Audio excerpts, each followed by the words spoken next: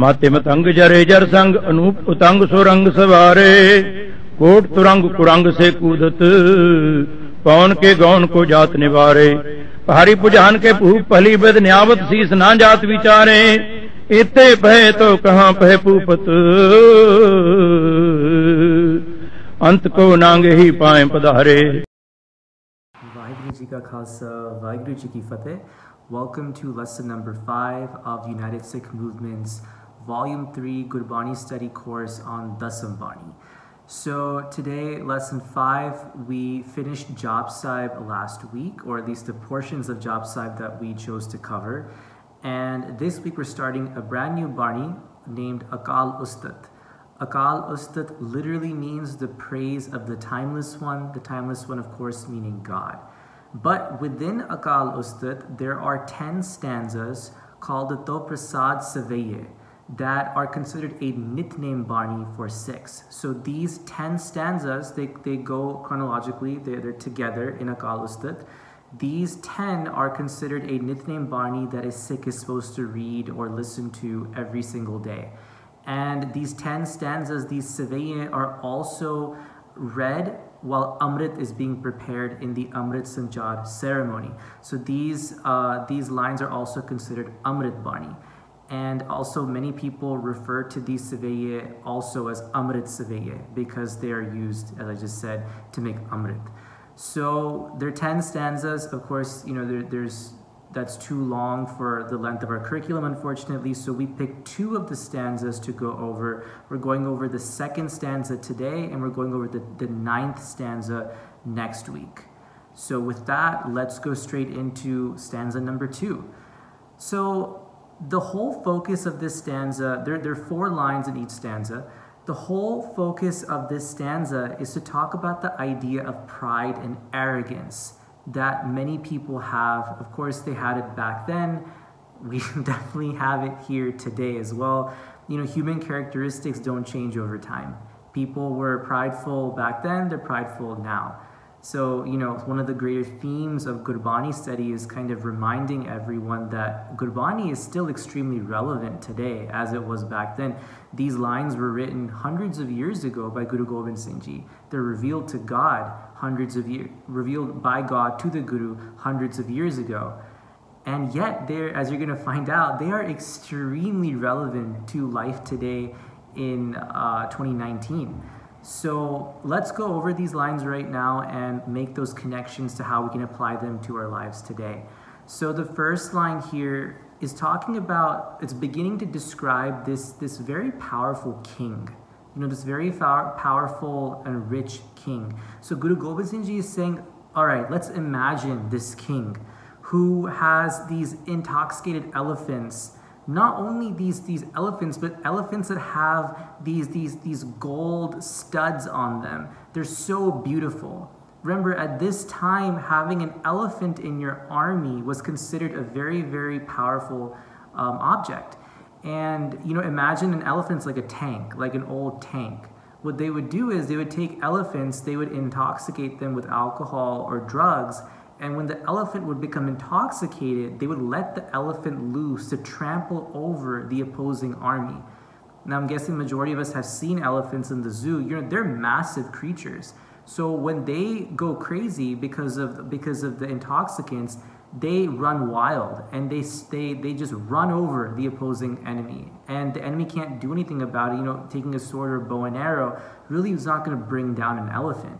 So only very rich kings, powerful kings could afford to have these elephants in their army. So this this king is not only one that can have elephants, but he can put gold on his elephants. That's how powerful and rich this king is that the guru is describing. And the next line, not only does he have kings, but he has thousands of horses that can gallop faster than the wind. So he has a strong cavalry as well. So he's not just a bunch of foot soldiers with you know little weapons. He has elephants. He has horseback soldiers that can move so quickly.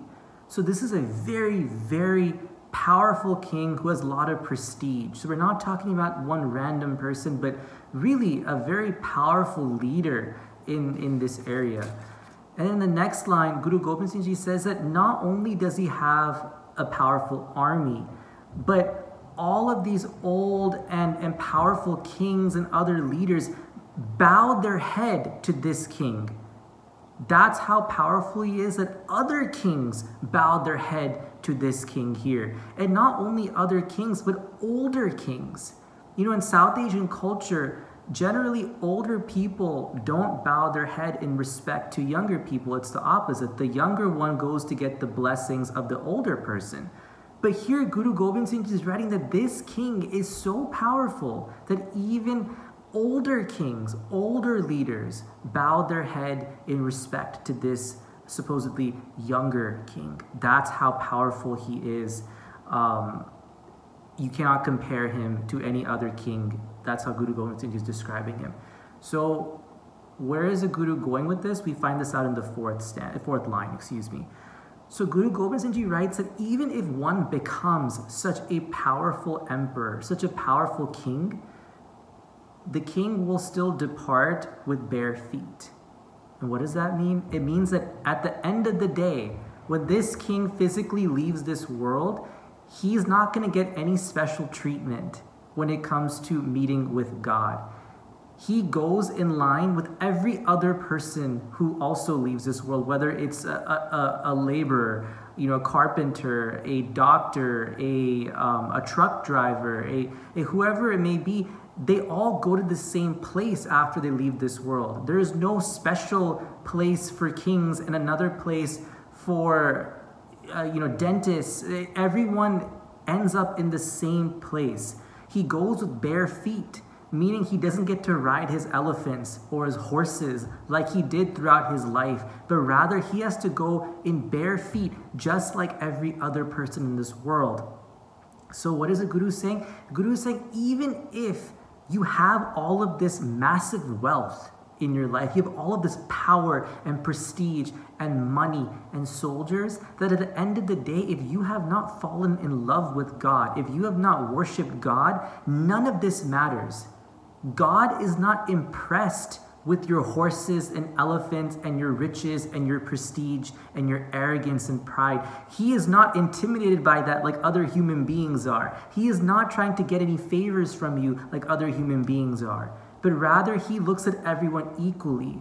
So, this person who has accumulated all of this wealth basically wasted his or her time because they did not focus on the one true purpose of life, which is to get closer to God. They focused their entire life on accumulating money, wealth, power, and prestige. So God is not impressed by that at all. He, he judges and treats everyone the same in his court.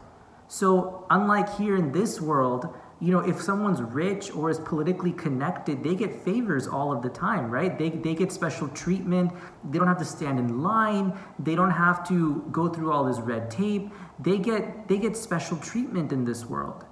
But there's no such special treatment when it comes to God's court. It doesn't matter how powerful you were in this earth. In His court, everyone's equal and no one gets any special treatment. So, therefore, focus on accumulating spiritual wealth right now. Don't put all of your focus on material wealth. And why is that? Because you can't take that with you when you go meet God. You cannot take that those those gold pieces and those elephants and horses and take those with you to ride into God's court. No, you go you go with bare feet. And what the guru is saying, he's not saying that we shouldn't, you know, try to be successful. He's definitely not saying that. But what he's saying is to have balance in our life. So if if if there's a person that is focusing 99% of his or her life on just accumulating material wealth, that is their only focus in this world, they fall in line with the king being described here, which is not a healthy balance. So instead, the Guru suggests that as a Sikh, we should have a healthy balance of, of course, being successful in our careers, trying to accumulate material wealth honestly, giving back some of that wealth to help, you know, the Panth and other people that need it as well, no matter where they come from. Balance is extremely important to have time to do seva, to have time for our nitnem, to do kirtan, listen to kirtan, to do everything a Sikh is supposed to do while still being successful in their career. So the Guru is saying have balance in your life because you cannot take all of this wealth with you. So, as a result, why spend all of your time focusing on something that at the end of the day is not going to have any impact in where you go after you die? And this is not a concept that is just something Guru Gobind Singh Ji has said, but rather, Guru Nanak Dev Ji and every Guru after has also reiterated this idea. There's a very famous Sakhi with Guru Nanak Dev Ji called the Sakhi with Duni Chand, in which Guru Nanak Sahib meets this very wealthy individual named Duni Chand. And he is very proud of this massive amount of wealth that he has accumulated during his life. He's very proud of the money he has. And he meets Guru Nanak, and Guru Nanak can already tell what a big ego this person has because of how much money they have.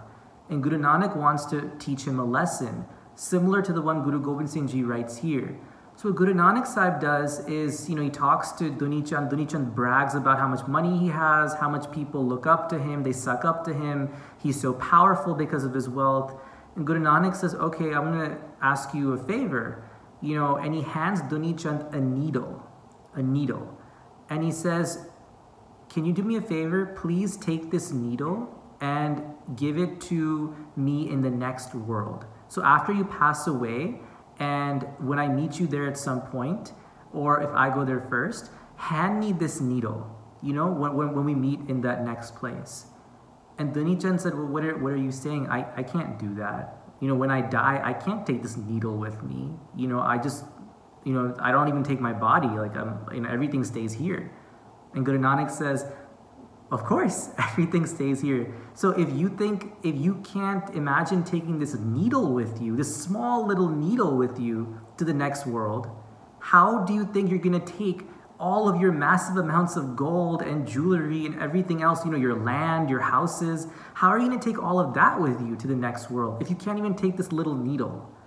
And then Duni Chand realized what Guru Nanak was saying the idea that all of your wealth, your power, your prestige, your reputation, all of that gets left behind in this world. And then you go into the next world, as Guru Gobind Singh says, with bare feet, you know, with, with, with empty hands. You don't have anything physical with you. You don't have your gold, you don't have your fancy car or your fancy laptop or anything like that. You just have whatever spiritual deeds you have accumulated during your lifetime. That's what you take with you, not any material items. So Guru Gobind Singh Ji says here, focus on your spiritual life. Focus on accumulating spiritual wealth.